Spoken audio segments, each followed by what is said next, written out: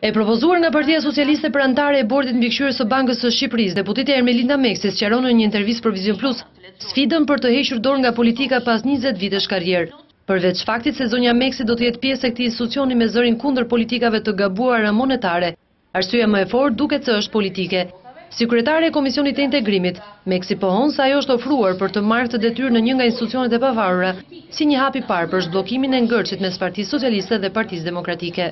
Unë mendova që duke pranuar këtë sfidë, i rrisnja vlerën ofertës së Partisë Socialiste në kuadrin e Paktit për Integrim, ku Partia Socialiste tregoi seriozitet që në një nga pikat e saj për institucionet e pavarura, megjithëse kërkoi tre veta, pranoi një, duke menduar që kapaciteti dhe cilësia i përballon këto kërkesa dhe ne realizojmë atë që dëshironim nga pikëpamja cilësore.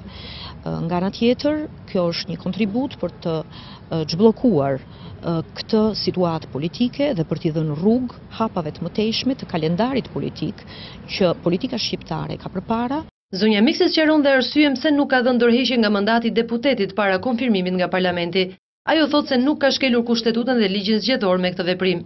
S'mund ta dorëzoja mandatin përpara, për shumë arsye. Ligji i ri elektoral mua ma mundëson këtë gjë se largimi im nuk e lë vendin bosh. Kushtetuta thotë që mandati i deputetit është i papajtueshëm me Presidentin e Republikës dhe me anëtarin e Bordit.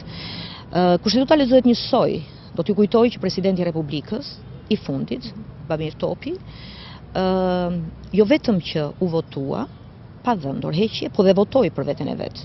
Të njëjtën gjë bëri kandidati për president, zoti Neritan Ceka. Ermelinda Meksi pohon se do të vazhdojë të japë kontributin e saj në Bankën e Shqipërisë, pavarësisht largimit nga politika aktive. Nuk duhet të kemi iluzion që unë mund të bëj të pamundurën.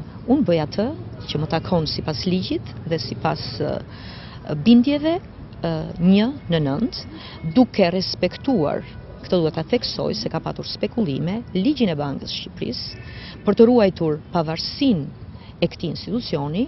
Më herët, grupi parlamentar socialist i mbledhur pak para nisjes së seancës, ka votuar në unanimitet kandidaturën e Ermelinda Meksit.